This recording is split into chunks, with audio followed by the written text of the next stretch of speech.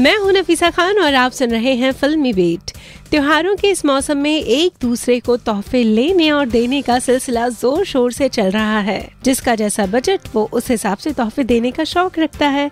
और बात जब लेने देने की हो तो हमारे सेलिब्रिटी कैसे पीछे रह सकते हैं? भाई तो बिछड़े दोस्त बहुत दिन बाद मिले हैं, और जब मिले हैं तो इस त्योहार पर एक दूसरे को गिफ्ट क्यों ना दे? जी हाँ। हम बात कर रहे हैं सलमान खान और शाहरुख खान की। और आपको पता है, इस दिवाली पर उन्होंने एक दूसरे को गिफ्ट में क्या दिया? Dub smash. जिसका चलन आजकल चारों ओर बहुत फैला है।